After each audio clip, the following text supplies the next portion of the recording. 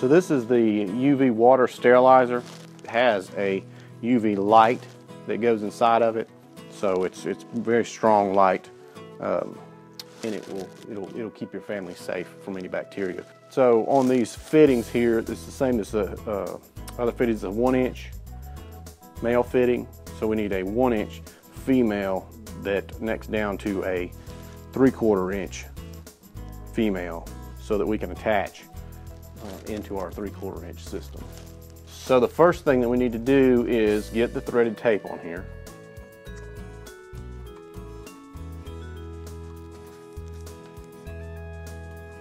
So with the UV filter, I'm gonna mount it up high, so I'm gonna have to put the light in from the bottom side, and I've gotta turn this out so that I can get all my fittings on. But rather than putting all my fittings on up there, I'm gonna do it down here on the floor to make it a lot simpler. I know what I need to do because I've already figured it out, and uh, I won't be standing on a ladder working at the very top. I can just do it down here. I'm going to Put elbows on both sides of these one pointing in each direction, in from the filter, and then over here, we go out to the house. So I have everything that I can do down here on the ground ready. So I'm gonna install this up on the wall. I've already screwed the brackets to the wall um, with concrete screws and hopefully you're not working on concrete, you'll be on wood, it'll be a lot easier. But to put this in, it's very simple. You just snap it in. and these close. I just, I'm trying to line this up here and then snap it closed and then that's it. And I'll snap that one closed when I get up there. And then for this piece of pipe, the good thing about PEX, is it's not exact measurements. I can look and see where I'm at. Just hold my finger there and I can make my cut right there.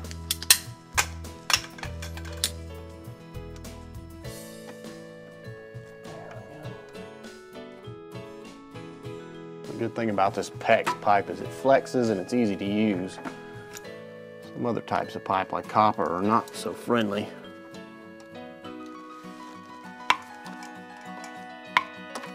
So here I am at the top and all I have to do is get this locked in now.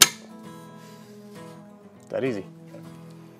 I just need to make sure my pipe's lined up and I need to put my valve in here and my T and I'll be finished.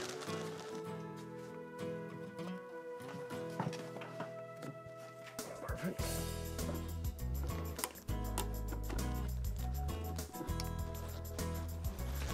So this is the UV light that goes inside the tube. And on this UV light, we have two connectors.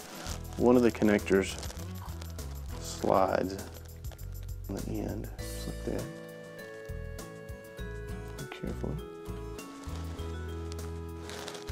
On the other side,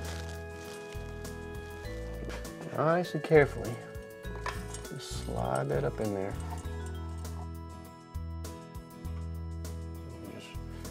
Push that and it just clicks right in. And we slide this cap up over the end of it. And then all we have to do is plug this in.